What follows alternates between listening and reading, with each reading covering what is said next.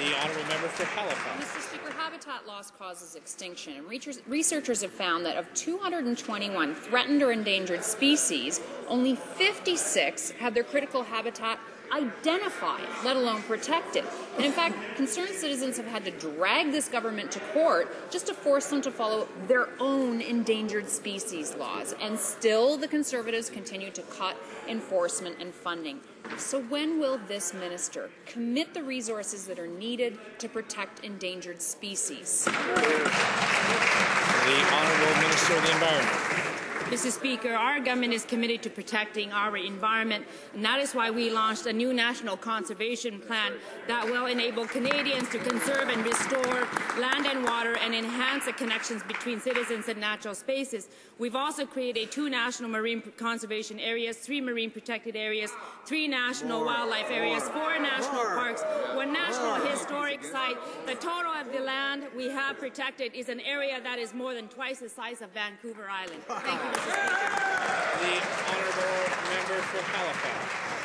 The minister says she's committed to protecting the environment. She should know that while the world is stepping up action to reduce emissions, Canada is falling behind. Environment Canada has shown that the Conservatives are set to miss our 2020 target by at least 20%.